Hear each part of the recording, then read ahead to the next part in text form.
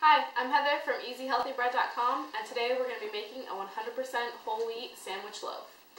To get started, we're going to add two and a half cups of whole wheat flour to your mixing bowl. So I do the scoop and sweep method. Um, that's what this recipe is written for and it's where you scoop um, right out of your container and sweep over the top like this. I use the back of a knife right into the bowl. So we have one, then we have two, and then we need one half cup as well.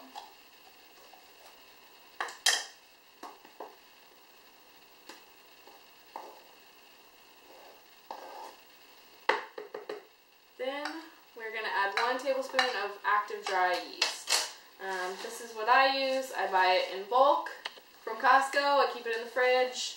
Um, as long as it's within its expiration date, you should be fine. Um, if you're nervous, you can proof it with in some warm water with a little bit of sugar or honey. Um, and if it foams up, you should be all good. So just like that, just toss it in. Next, we're going to do the Vital Wheat Gluten. Um, it's an important ingredient for cooking with whole grains because it adds more gluten to your bread. Whole wheat has less gluten, um, which is what makes your dough awesome and fluffy and edible.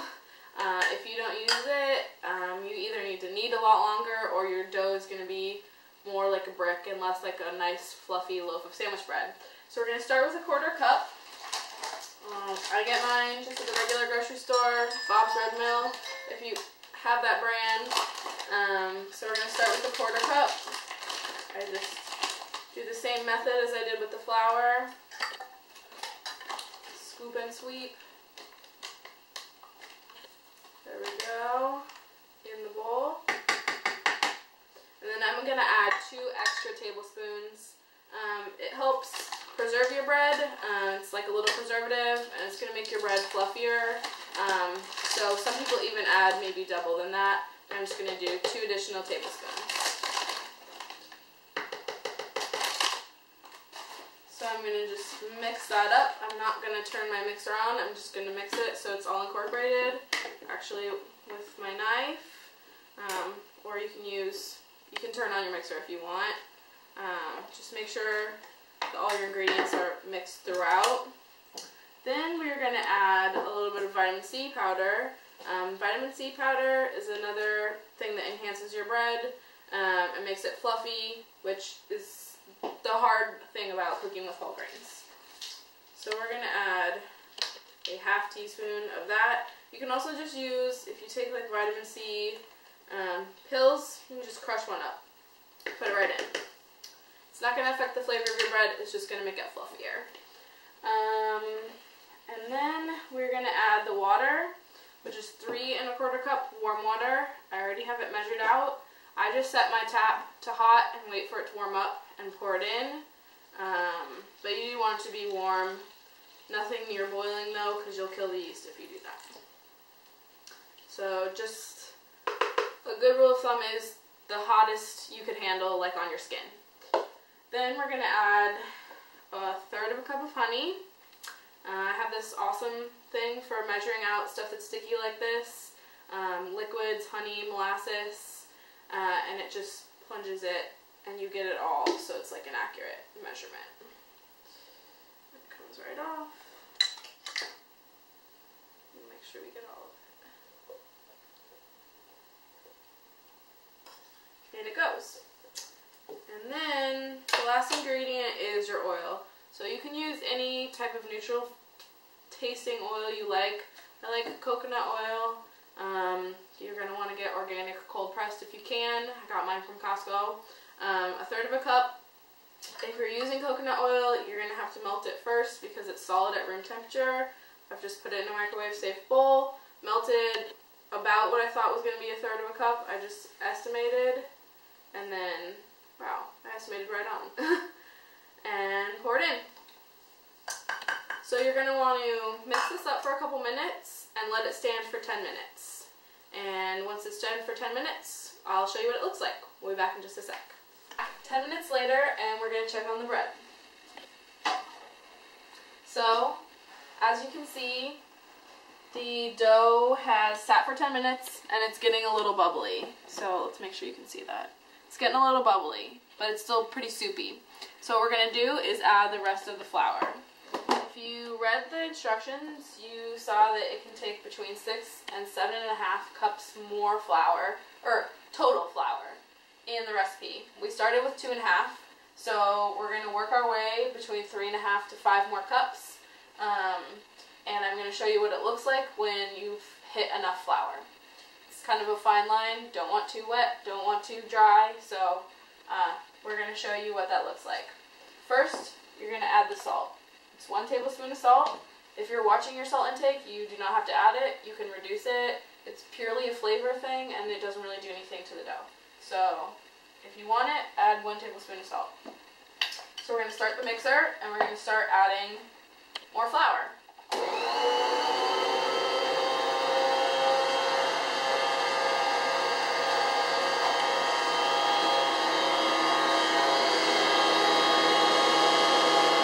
So we're going to do one more cup.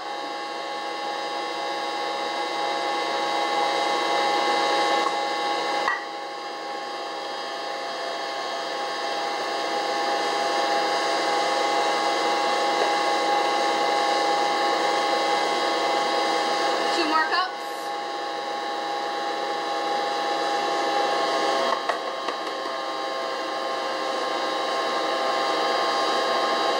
You can see it's starting to come away from the sides just a little bit, but it's still too wet. So we're gonna go three more cups.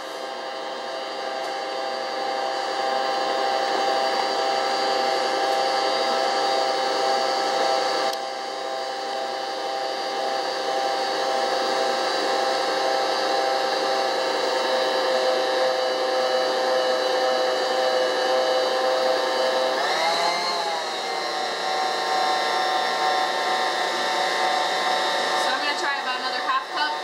Still looks a little too wet.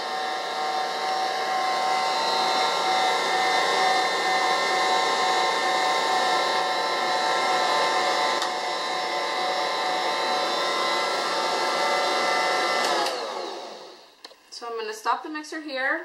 I'm gonna get a spatula and scrape down the sides of the bowl because there's a lot of flour that gets pushed out especially because this is really a high capacity mixer. So it can make, I think, about 14 loaves, one pound loaves, and this is probably going to be about two and a half pounds of bread. So I'm going to just scrape down the sides, make sure that gets incorporated in. I don't think that, yeah, it's definitely still too sticky. So I'm going to turn the mixer back on and add another half cup.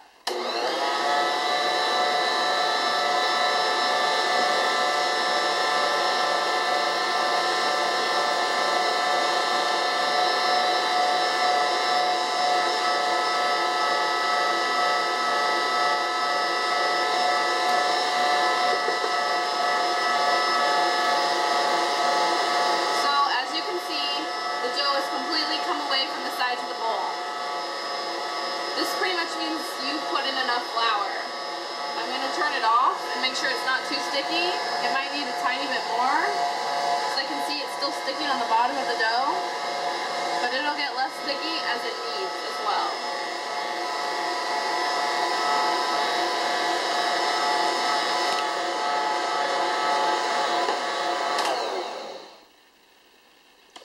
So when I pick up a bit of the dough, if you like can kind of get it to start holding shape, then you know that it's this is still pretty doughy.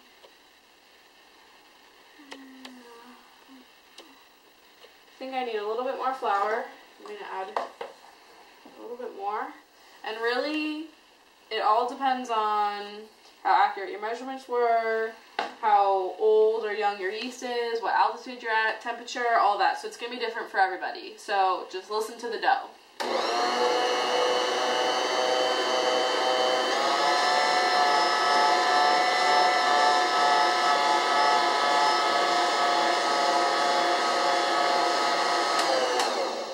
Okay, mine's definitely done now. you can see it's totally come away from it. It's starting to get smooth. And once I knead it for about six or seven minutes with a mixer, uh, it's going to be nice and smooth. Um, if you're kneading by hand, you're going to want to knead for probably about 15 minutes, maybe even up to 20. Um, with whole wheat dough, it needs more kneading to develop the gluten, so it will rise. So we're going to put it on the mixer on speed 2 for 7 minutes, and I'll catch you back in a few minutes. As you can see, that's what the bread looks like after it's been kneaded for 7 to 8 minutes. It's nice and, nice and smooth, and none sticking to the side of the bowl, really, and we're going to let it sit for about an hour, and then we'll catch you back. Okay, so it's been about an hour, and the dough has more than doubled in size. And it's actually fallen a little bit since I took it off the mixer because it moved it, but you can see it's really puffy now. Um, it was not this tall before. It was It's up to about here now, before it was up to about there. So I'm going to show you how to shape it and put it in your two loaf pans. Um, to make easier, a lot of people use flour so their hands don't get sticky. Oil is better every time. Um, might feel a little gross at first, but I'm literally just going to put some oil on this paper towel. I'm using canola uh, just because it's a little easier than uh, the coconut. If I had still had some coconut melted, but I had only that third of a cup, I didn't have any extra, I would use that, but since it's solid, it's kind of tough. So I'm going to just wipe my clean counter. I'm actually going to use a little more than this. Um, down with some oil. Um, and because we're going to turn the dough right out onto the counter. So you want to get that. You are going to want to get your hands. Nice and fun. And then you're going to want to get your pans. Um, I have one pound pans here and they work really good for me. Um, some people like the bigger one and a half pound pans. If you have a big family, maybe that works a little better for you. Um, whatever works for you. But you're going to want to grease it. Pretty much any pan you're going to want to grease. It's just going to make your life a little easier. Um, I love these USA pans. I only have one clean today. Um, so I'm going to use glass as well. Whatever you have, but these USA pans, I'll put a link in the show notes. They're fantastic. Um, okay, so we're all greased up. We're going to take this out. Um, and it's okay, the bread is going to fall, and that's fine because we're going to raise it a second time in the pan. Um, this is essentially the punch down part of the recipe. So we're going to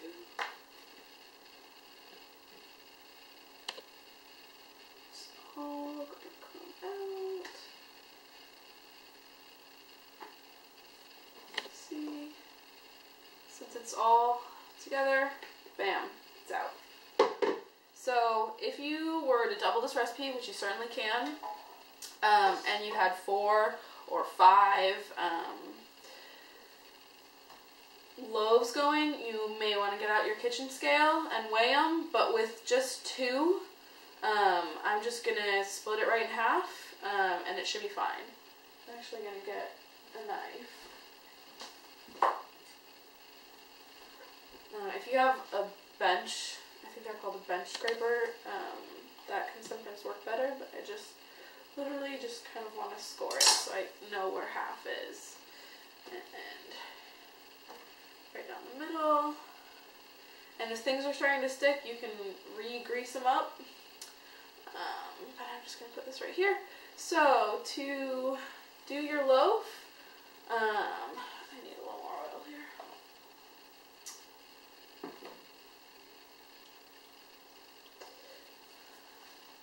I'm just gonna kind of form it into a ball.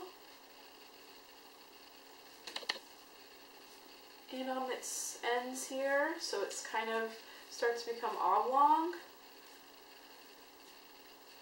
See, I'm just kind of going in like that. And then down on the sides, and then in. So it's a nice olive, or olive oval shape, and I'm going to drop it right in. I'm going to pat it down a little bit so it fills into the corners because it won't rise into the corners on its own. You kind of have to pat it down. So you can see it's about an inch below the edge of my one pound um, loaf pan. So we're going to do the second one. Same thing, I'm going to put a little extra on here because it's getting a little sticky. There you go. So like I said, gonna bring it in so it's oblong. Gonna make it a little bit longer because we're gonna fold in the ends. like that. And we're gonna fold the ends in. And then one more time like that. Then you're gonna put the seam that you created downwards. And you're just gonna drop it right in. So they look like this.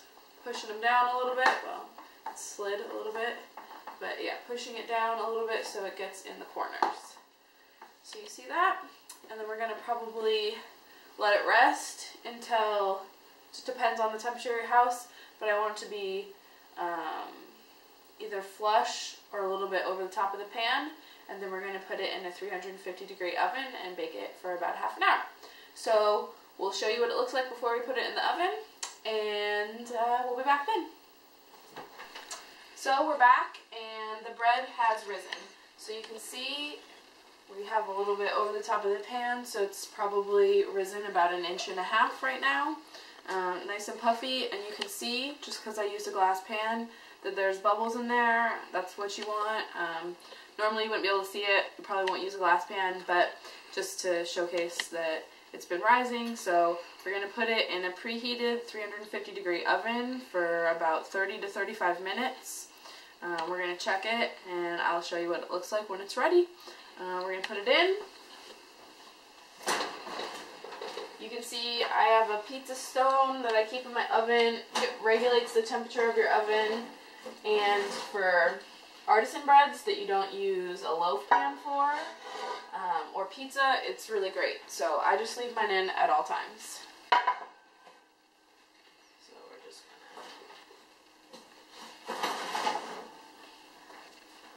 Put her in and set the timer and we'll be back. So I just pulled the bread out of the oven. Mine took about 35 minutes.